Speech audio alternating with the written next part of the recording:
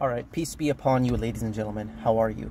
Now in today's video, I just want to speak a little bit on polygyny. My thoughts on polygyny in the Quran because I kind of see two sides concerning the polygyny issue. One camp, usually women or more liberal leaning so-called Quran aloners, they'll say that it's completely forbidden, it's not allowed. Then you get the other camp, this Mahdi Tijani types who just promote it as the greatest thing in the world. And I kind of want to do my best to bring in a reasoned, reasonable perspective to this controversial issue of polygyny.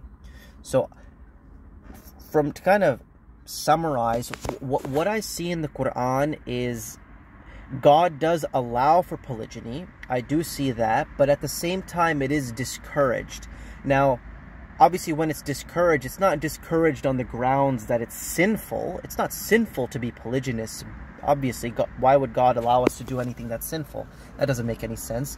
But rather, it's discouraged on the grounds that it's impractical and usually not the best way to operate your marriage with few exceptions. Okay, so we have verses in the Quran where it talks about the wives of the Prophet, the wives. You know, it's not allowed for anybody to marry the wives of the Prophet after he dies. You have as well uh, Muhammad marrying the ex-wife of his adopted son Zayd. You have things like that, which are it, it's God even says marry two, three, and four. But if you cannot do justice, stick to one. So you have those which are I, I shouldn't say promoting, but they allow for the concept of polygyny within a righteous marriage. And then you have other parts in the Quran which tend to discourage it. So you have in the Quran where God says that uh, marry two, three, or the one that I just quoted you, marry two, three, or four. But if you can't do justice, then marry one. God also says in the Quran, um, if you can't do justice between them, and you will not be able to do justice, so that seems like a slight discouraging of polygyny. You also have a verse in the Quran where God says that He created everything in pairs. Pairs are duos, duos, one and two, right? So how how do we kind of meld these two concepts together allowing for polygyny but a general discouragement and not dive into the far extremes of either the liberal left-wing so-called quran aloners who just want to make the quran completely in line with everything the modern world teaches and at the same time these insecure broken failed divorced single red pill guys who just want to go way too far and say women are only there to please men and there's no other purpose for them. How do we find a reasoned perspective in the Quran? So, my thoughts on polygyny are uh, does God allow it? Yes. But he does discourage it because okay here's the thing most people who prom- uh, most of the people who i see promoting polygyny who are gung-ho about polygyny they're usually uh, I, I say polygyny is allowed, but I'm not gung ho about polygyny. I don't want polygyny. I'm in a monogamous marriage. I want to stick to monogamy, stick to just me and my wife. That's how I am. Because it's a hard balancing act to have multiple women in your life and treat them completely equally. And it's a lot of emotions you have to deal with. And it, it can be a, juggle. It can be an emotional juggle. And personally, I don't want to go through that. I like sticking to one wife, being with one woman. I think that is more natural, per se, because the Quran also says that God created everything in pairs, and I believe my wife is my pair. She's my mate, my match. That's how I see it. But you, let's say you were in a situation of, I don't know, let's say I'm I have a man here, Jack, and he's married to a woman named Natalie. Jack and Natalie are married to each other, and let's say Natalie's cousin is a believing woman, and Natalie's cousin, her cousin becomes a widow. Her cousin's husband dies, and now she's single, and she has nowhere to be, nowhere to go. She's in a tough situation. She needs someone to kind of take care of her and her kids. So Natalie then goes to her husband, Jack, and says, Hey, this is my cousin. She's a good woman, a believing character. Why don't we bring her in into the marriage and take care of her and enfranchise her and raise her station in life? And Jack says, Okay, yeah, no problem in situations like that, it makes sense to be polygynous. You're you're doing it for another person. You're not being selfish and self centered. You're doing it kind of as an act of charity to take care of somebody who's disenfranchised. Another example let's say Jack and Natalie are married and a huge war happens. Let's say a group of the disbelievers they declare war on the believing society and obviously this war results in a lot of casualties and a lot of believing women a flood of believing women leaving the side of the kafirs and coming over to the believers seeking fealty. We have an example of this in the quran. God says to test the women when they come to you. So now you have a surplus of women who don't have any enfranchisement in society. They're new to this civilization. They're leaving their evil doing previous civilization they lived in. They heard the word of God and now they're trying to start a new life. And then a guy sees one of those women, Jack, who has Natalie, speaks with Natalie, lets her know, hey, I, I really want to bring her on, take care of her, make sure she's okay, and kind of raise her station in life as an act of charity. Again, that that's the right mentality to do polygyny, I think. God dis- so God discourages it, but I think as an act of charity and goodwill and good faith and maybe your wife bringing it to you or it coming along your way. And you just like I said finding a way to do a good deed for another believer that's a context in which polygyny can be successful. Now the people who take these passages in the Quran which do allow for polygyny and they go gung-ho about it. Like these Mahdi Tijani guys they're so insecure. What did he say? He's just like uh, why do you think a man would marry another woman when he's already married to a woman? For himself? For another person to take care of her? Obviously, it's for himself, for his own pleasure. What the falafel do you think it's for? That is the wrong mentality. And personally, I think men who have that kind of selfish thought process. They're not even ready for a single marriage, let alone polygyny. Polygyny is a delicate situation. It's a difficult balancing act. And if unless you are the most masculine, selfless, kind, gentle, patient, stable man, you will not be able to handle such a situation, which again is a delicate balancing act. Guys who are selfish and foolish like that, they can never handle polygyny properly. And I guarantee you, people like Mahdi Tijani, his home life is crap. People with that mentality, they, they never hand, handle their marriages properly. And I, I tend to see that people who are again the, the, most enthusiastic about polygyny and polygyny for men is normal and their monogamy is terrible and men are supposed to be with multiple women. They go into it with the wrong mentality. They they go into polygyny because God does allow for it, and with the thought of, oh, hey man, I can be with a Chinese girl, a Puerto Rican girl, a African girl, and a light-skinned girl at the same time.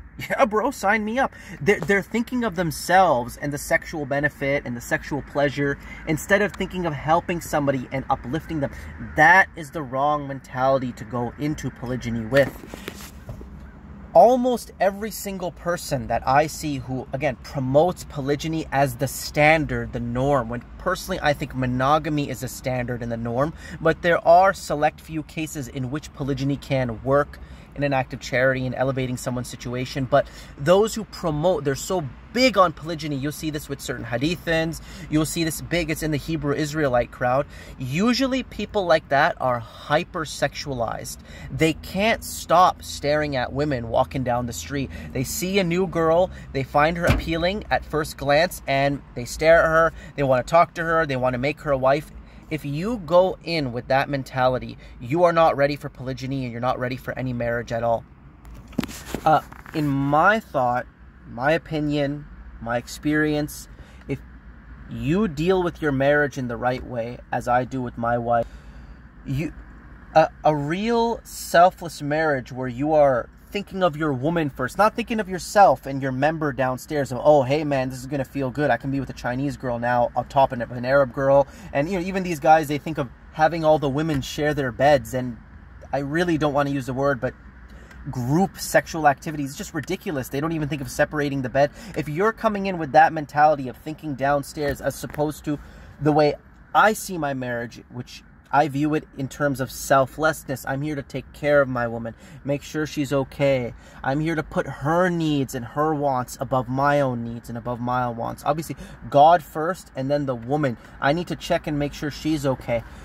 When when you invest that kind of love and dedication into a person, you usually, as a man, don't desire to take on another person. You just don't because it already takes so much out of you in a good way. It's not a complaint, it's a blessing and a wonderful thing, but it is such an investment of the heart and mind and soul, a real God fearing, selfless marriage that you don't have the energy or the heart capacity or real estate usually to bring another person into that equation. You may only do so in an emergency circumstance to take care of somebody as an act of charity, but people who don't go into the marriage with that their marriages with that mentality they go in thinking of this they go in thinking of the pleasure and the sexual aspect of it they are just so appealed by the aspect or the thought of polygyny and having multiple women.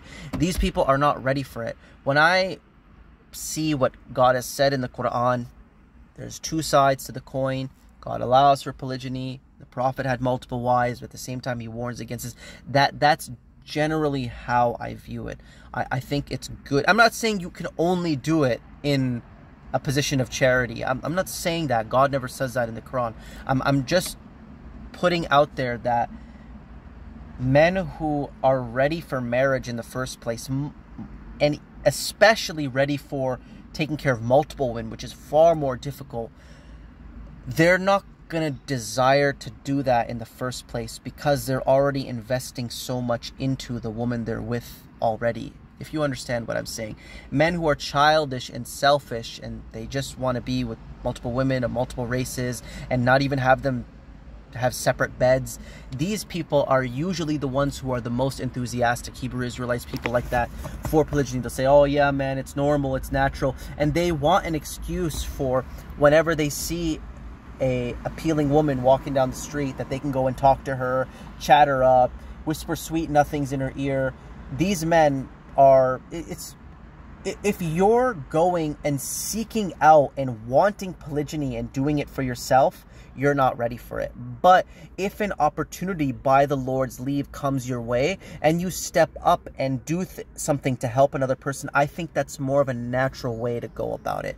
So that's kind of my understanding of the Quranic concept of polygyny. Is it allowed? Yes. Is it for the pleasuring of the man and being with multiple women and just having these bragging rights these insecure guys talk about? No, not at all. Is it about elevating somebody's status in society, looking at somebody who's poor and unfortunate and bringing them on and giving them love and companionship and a family environment and sisterhood through your other wife and just kids and all that kind of stuff. That's really the purpose for it. Everything you do, you should think of God first. When I married my wife, my first wife, God willing, my only wife, that's all I desire when I married her, I didn't marry her thinking of downstairs. And obviously, that's a component of it. And this goes for any marriage, whether it's monogamous, whether it's polygynous. I wasn't thinking of downstairs primarily. Obviously, I'm attracted to her. I love her. I have no complaints about that. But I went into it with the thought of, I really want to marry this girl. Obviously, I love the way she looks. She's super attractive. But I want to marry her because I feel as though she brings me closer to God. Her presence in my life increases me spiritually, increases me as a man. I can see my presence in her life increases her spiritually, makes her better as a woman. That's why I want to bring her on. I want to make her my wife to serve the Lord because she allows me to be a better servant in the eyes of my Lord. That's how you go into anything, even with your marriage. So let's say you see a second woman and you're married to one already and you say, I, I really want to bring her on because she encourages me in the cause of God. She's a good sister to my wife as well. And I, I, I like when they're together and they're talking to each other and bouncing ideas back and forth and they give each other good company. She's really good with my kids as well. And I really love her as well. I know my leadership and companionship, it increases her in faith. You know what? I'm going to bring her on as a second wife.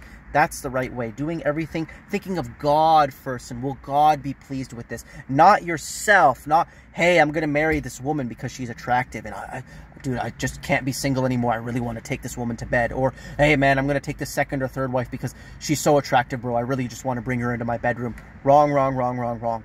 You have to, with everything, if you want to be successful and not watch a disaster unfold in your household life, which can very easily happen with polygyny, which is why God warns us about it, although allowing it, He gives us warnings and precautions concerning it, if you don't want to see that kind of a pandemonium disaster happen in your home with everything, first marriage, second marriage, put the Almighty first. Stop thinking with your flesh. Stop thinking with your carnal, base, crude, and coarse desires. And think of spiritual things. Think of heavenly things and allow heaven to guide you. And Lord willing, you'll do everything properly if you go with that mentality. But anyways, ladies and gentlemen, that's really all I got to say on the matter. I hope this talk was a blessing. And yeah, peace to you. Remember, deceit abounds, so keep your eyes wide open. Peace out.